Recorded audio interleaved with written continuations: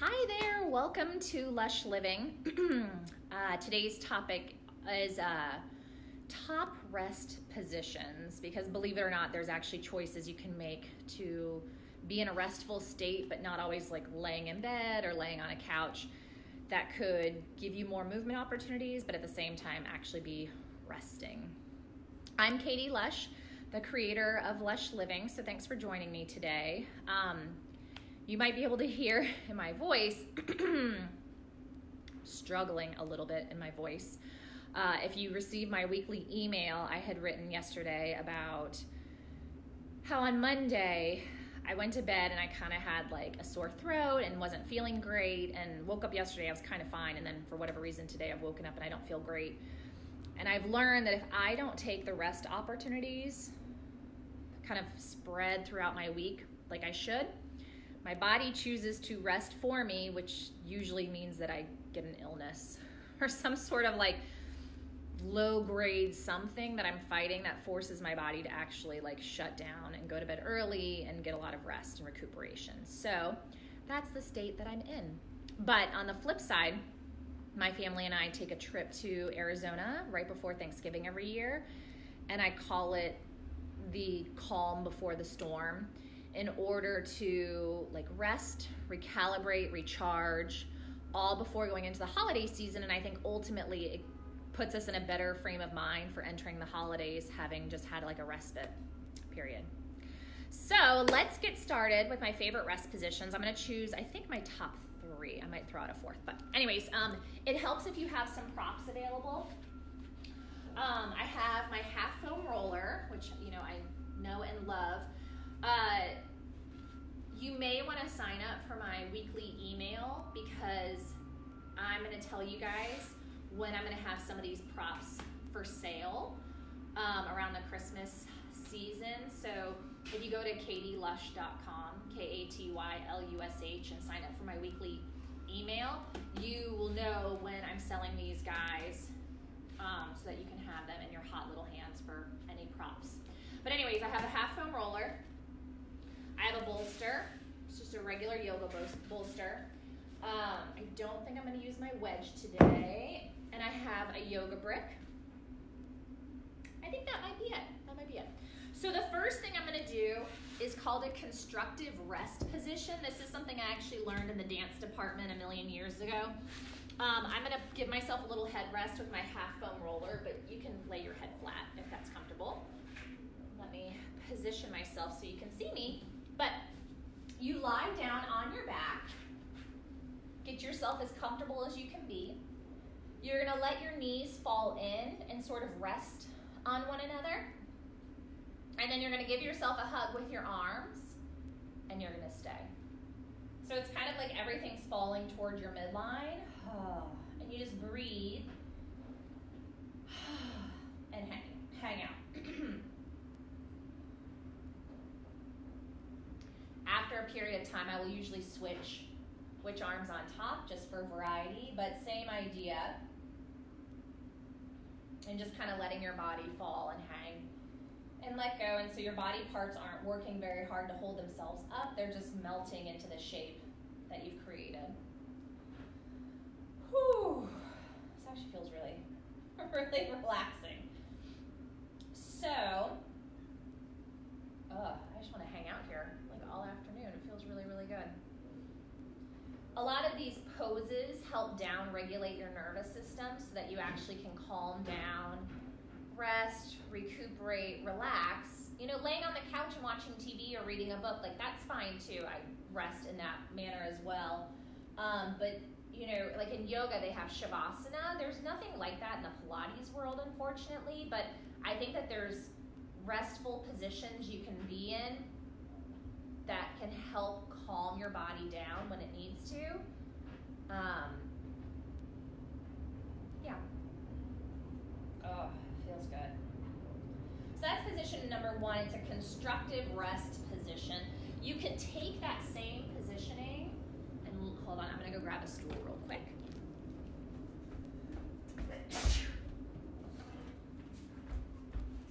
Okay, so if you were to take that same position and put a chair this is used in a lot of physical therapy settings if people have low back injuries where you would rest your calves up on a stool or a chair. Let your pelvis be neutral. You can bring the stool in as close or as far away as you need depending on your hamstring length. But you want your pelvis to be neutral. You can still have a baby headrest.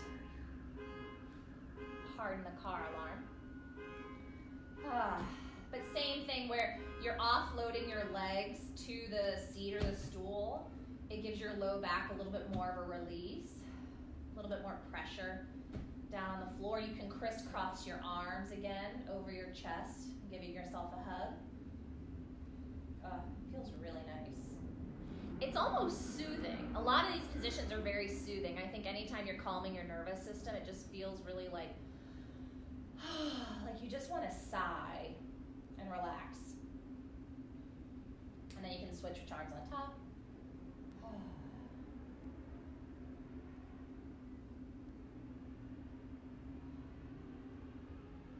Oh, just feels really good. Okay, so the caveat of all these positions are there all positions you need to actually get onto the floor for. Uh, the constructive rest position, the first one I just showed, you can do it in bed but obviously you're not going to put a chair in your bed. And then these next two, you want to be on a little bit of a harder surface. So the next one is an iliacus release. I'm going to use my favorite half foam roller. It's about three inches high, I believe. But you have options. You can either put the round side up or the flat side up. I'm to do flat side up. You're gonna lie down just like you did a moment ago onto your back with your knees bent and your feet flat, and you're gonna take the half foam roller and slip it under your pelvis a little bit closer toward your feet so that it deliberately rocks and tucks your tail under into a baby curl. So my hip bones are leaned away from my thigh bones. My low back is almost touching down on the mat. Actually, mine kind of is up a little.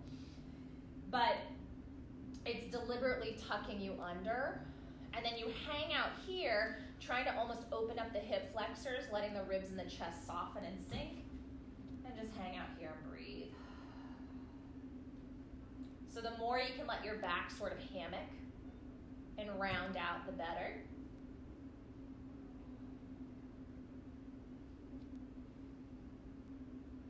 I find being on a yoga mat for this is really helpful because my tendency is to slide up toward my head. So if I can be on a sticky surface, it kind of stops me from moving.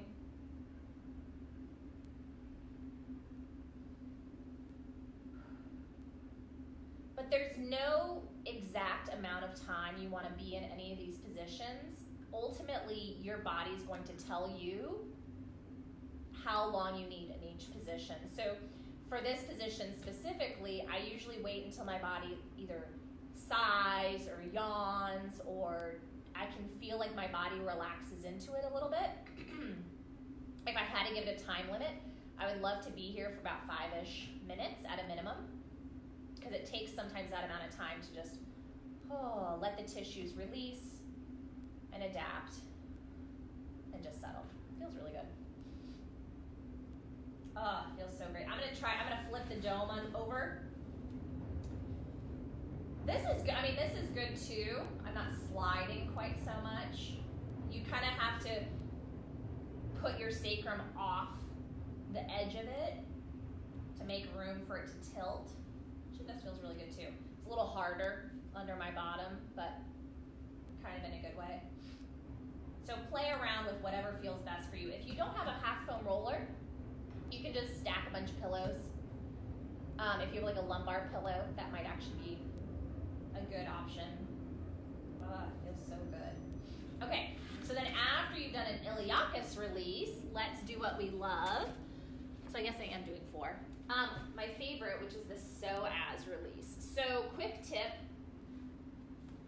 if you tend to have low back tightness, personally, I find if I do the iliacus release first, my body responds to the psoas release better. If I do the psoas release kind of cold, like first thing in the morning, sometimes it's really rough on my tissues. It's just a little too much too fast, which is fine. Um, I just choose not to.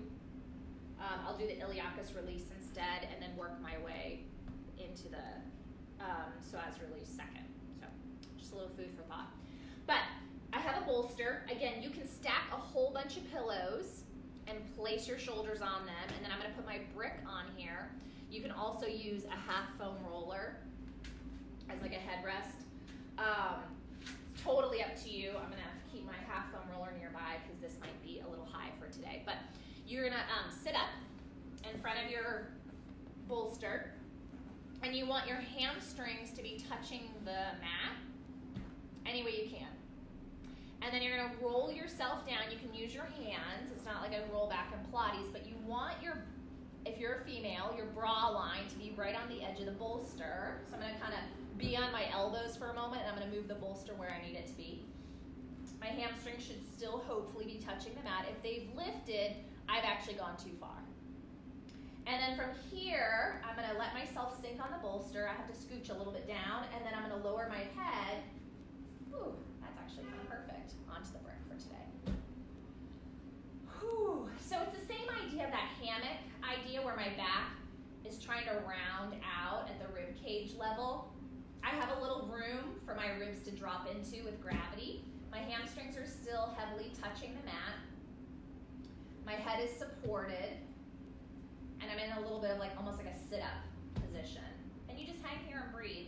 I used to watch TV like this a lot at night. I'd get on the floor and build up my pillows and watch TV, which is kind of perfect because that means I was laying there for like at least 20 minutes. So, and I could really feel the difference in my body. I've kind of lost that habit. We moved and now I have hardwoods and no rug and the space is not as conducive for it. So, um, something I would like to get back into the habit of doing. Plus, I brought all my props to the studio and they're not at my house anymore. so, building some of this stuff with pillows is fine. It's a great alternative, but it's a little harder to access. But same thing, if you can hang out in this psoas release position for, you know, five minutes at a minimum. I mean, I've laid here as long as an hour. I think the only thing that happens is my pelvis will get a little tired of being on something harder a harder surface. This Cadillac is actually perfect. We just had it recovered, and so it's got lots of extra foam in it. Oh, it just feels really, it's like firm, but it feels nice. The legs can just relax. Your goal is just to be passive with the rest of your tissues and just let the gravity soften your tissues, kind of releasing the back line of your body and putting slack on your psoas. So it feels a little slouchy, but in a good way. Belly's relaxed Sometimes I'll get like a stomach gurgle. That's another form of relaxation of the body. Muscle twitches. And just breathe out and hang out here as long as you need. Whew. I'll find that my body will sigh or yawn. And then I know that I'm kind of down regulating. Oh, I would love to be here for like the next 30 minutes. It just feels really soothing and calming and it just feels good. Because you're also laying down, right? So if you could maybe read a book this way or if you have to be on your device, you can do it in this shaping, which will help. You know, being on a couch, it's a little squishy, so your parts are not exactly optimal, optimally organized. But when you're on a hard surface, you are. Uh, it just feels good. Ugh that's it. I actually feel really, really relaxed right now, which feels really nice. So good to know. So those are your four rest positions. You've got the constructive rest position where you're giving yourself a hug and you're letting your knees knock together. You have a more active rest position where you're using a stool or a chair and resting your calves on the stool or chair and you're lying on your back um, flat you have the psoas, I'm sorry, the iliacus release, where you're lying down flat and you're bolstering your pelvis up into a little bit of a tucked tail, a little round back, creating again that hammock shape for your pelvis, creating some room between your hip bones and your thigh bones. And then we have the grand finale of the psoas release, where you bolster your upper body, your head and shoulders, as if you're doing like a mini sit up, and you're creating that hammock shape through your rib cage as well, but now your legs are totally flat and flush on the floor. So that's it.